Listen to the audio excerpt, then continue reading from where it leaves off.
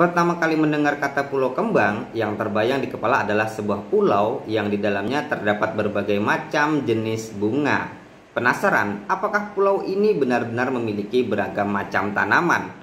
Terletak di sebelah kota Banjarmasin, Kalimantan Selatan, Pulau Kembang ditetapkan sebagai salah satu hutan wisata. Pulau Kembang yang termasuk di wilayah Kecamatan Alalak, Kabupaten Barito Kuala ternyata merupakan habitat bagi kera berekor panjang atau monyet.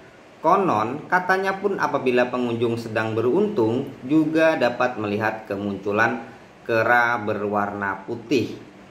Kawasan Pulau Kembang berjarak sekitar 1,5 km dari kota Banjarmasin dan dapat ditempuh dengan menggunakan perahu kelotok sewaan.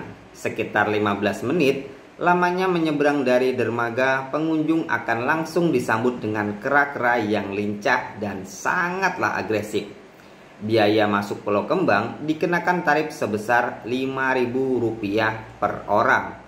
Konon, cerita dahulu kala, Pulau Kembang berasal dari kapal Inggris yang dihancurkan oleh orang Biaju pada tahun 1750-an atas perintah Sultan Banjar dan kemudian Puing bekas kehancuran kapal tersebut ditumbuhi pepohonan dan berevolusi menjadi sebuah pulau yang didiami oleh sekelompok kera. Dan konon katanya pula kelompok kera tersebut dipimpin oleh seekor kera yang sangat besar berwarna putih.